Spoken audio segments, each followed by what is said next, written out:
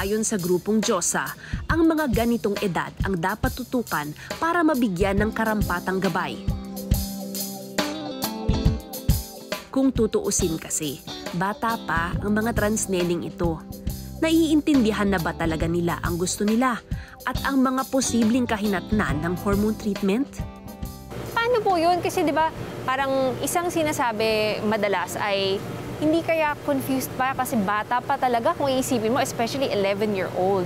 Kasama yan, ma'am, kailangan kina-counsel mo sila- sila. Simulan mo muna sa'yo. Hanapin mo, hugutin mo kung saan ba nanggagaling yung ah, pangarap ng bata sa transitioning. After that, if you understand na talaga kung ano talaga ang gusto niya, try mong i-connect sa pamilya niya. Mahal ang gamot at konsultasyon sa doktor kaya tinutulungan sila ng grupong Diyosa. Sinisigurado nila na maiintindihan ng mga bagong magpapakonsulta at ng kanilang pamilya ang mundo ng mga transgender. Kailangan din daw na mas maging metikuloso sa pagbili ng gamot ngayong nauuso ang online selling ng hormone pills at injectables. Nauso yung mga online selling, ganun. So, yung access to hormones, andyan na rin. So, ang magiging question na lang is, tama ba tong hormones na to? Ano yung mga nag-try ng mag-hormones, they got it from TikTok or kung ano yung mga pinapanood nilang blog, no? So, what I just, I, I give them as an advice is they have to be meticulous on trying to discern kung yung nagbibigay ba ng advice on the use of hormones are just trying to sell the product Mahalaga rin daw na magpatingin sa doktor.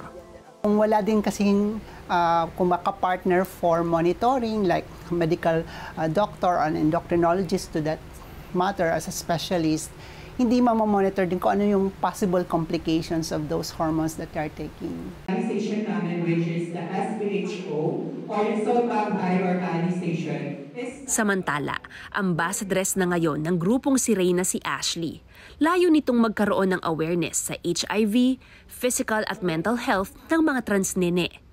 Noong Hunyo na Pride Month, nagbigay sila ng seminar tungkol sa HIV at SOGI o Sexual Orientation, Gender Identity and Expression. Yung main goal no, ng event na to ay yung matutunan yung uh, mga importansya ng pag-intindi ng HIV ang HIV and AIDS para mawala yung stigma na yan. Pumanip ako sa Diyos ah, para matulungan yung mga trans kaya na katulad ko na nahihirapan din na mag-out kasi natatakot sila sa discrimination. Mula nang manalo bilang Diyosa ng PNR noong 2022, tila naging mini-celebrity na rin si Ashley sa lugar nila. Oo. Pero pag may lumapit sa'yo na bata, anong pinapayo mo sa kanya? Lalo kapag super liit pa talaga. Um, may time na sinasabihan ko yung mga trans, trans nene na di pa naman totally long hair, pero sinasabihan ko sila na trans ka na ba talaga? Kasi pag once na pumasok ka sa mundo ng pagiging trans, hindi lang discrimination yung mararanasan mo. Parang sinasabihan ko sila na hin- hindi lang isang zigzag yung dadaanan mo. Parang may lubak, may may may may dadaanan kang sunog, ganun yung ma- mararanasan mo pag tumungtong ka sa point na nag nagte-transition ka ganun. Samantala, ang mga kapwa transnene ni Ashley nakakwentuhan ko ulit sa entablado kung saan sila rumampa noon. Grabe guys, two years ko kayong hindi nakita. Kamusta na kayo?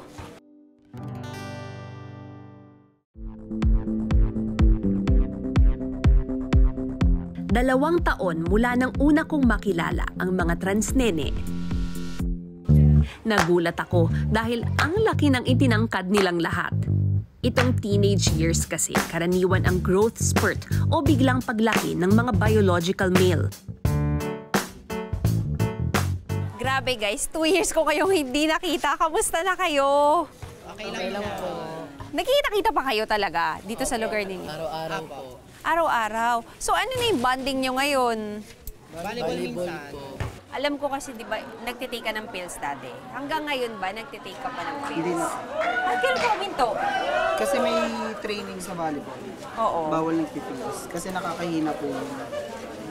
Kaya pinatigil. So paano yan? Ngayon tapos na yung competition, Babalik po. magpipills ka na ulit. Exactly. Ikaw naman, nag nagtitake ka ba ng pills ngayon? Well, minsan kasi ininto ko siya dahil minsan side effect na naduduwal ako. Pero bakit umiinom ka pa rin? Ah, wala lang kasi 'di ba, kapag alam mo kasi parang nahagad. So, yung hormones di kasi nagdadagdag siyang blooming sa amin. Ngayon daw, mas ramdam nilang tanggap na sila ng lipunan.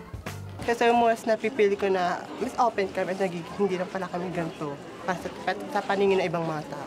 Panahon na ngayon para gabayan natin ng ating kalusugan na may tamang ah, guide. This time, baguhin na natin. So, kung kayo po ay nahihiya, meron naman din po, pwede, pwede naman kaming ma-reach online as much as possible.